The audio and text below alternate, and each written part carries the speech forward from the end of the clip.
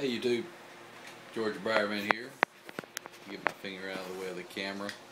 Uh, it is 2 a.m. in the morning, and moaning and uh, sitting here enjoying some company, drinking the PBR in honor of Hobby Pipes and talking to a couple of my friends on Skype.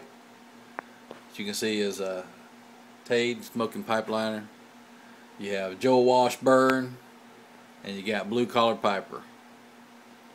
And uh, uh, we sitting here having fun. If you have Skype, you need to log on, chat a while.